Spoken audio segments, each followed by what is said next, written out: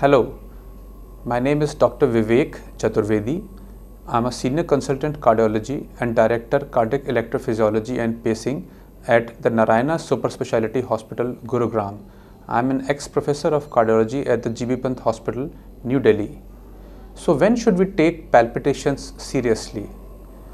So palpitations is an abnormal awareness of our own heartbeat these palpitations, the cause why we feel it abnormally can arise because of the heart condition, because of the circulatory conditions in our body or because of an abnormal perception arising from our brain. When should they be taken seriously? When palpitations are continuing over a significant period of time and are associated with other heart symptoms like dizziness, feeling faintish or actually collapsing and becoming unconscious, having severe chest pain or shortness of breath. These are the warning signs that the palpitations are not because of an innocent cause. The other uh, uh, times when the palpitation should be taken seriously are in extremes of age.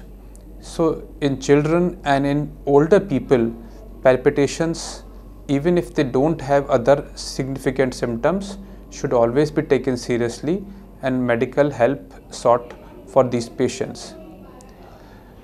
Also patients who have underlying heart disease whether a heart attack or a valve problem or high blood pressure in these people high uh, palpitations should always be taken seriously.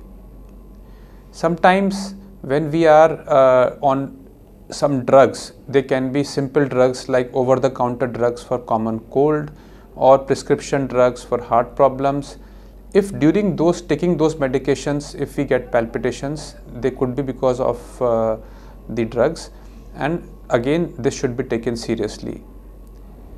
People who are abusing different substances can also have several nasty kind of palpitations and again in these kind of people palpitations should always be taken seriously. Thank you.